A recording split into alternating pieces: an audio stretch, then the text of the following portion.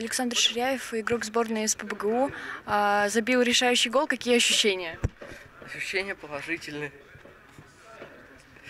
Э, Взяли одно очко, но, конечно, мы рассчитывали на большее.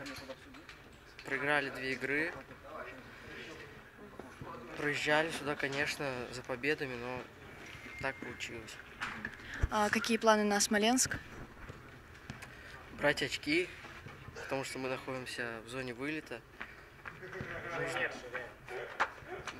Ну, в стыковых матчах.